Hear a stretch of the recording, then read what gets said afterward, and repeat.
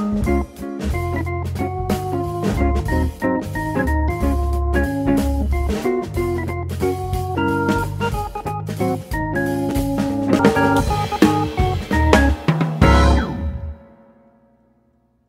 Rob. Hi!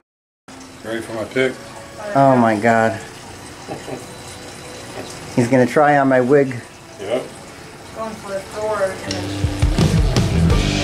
Hey.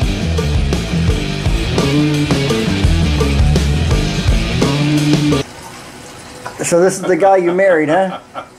Well, he didn't look like that when I married him. Well, I do now! All right. Okay, so you guys heading down to Corpus Christi. huh? Corpus Christi! Corpus Crispy? Corpus Christi. Corpus Oh, okay. Christi. That's how their fish food is? Yep. Okay. Right back. Okay. Y'all take care. If we don't get too crispy. Thank you.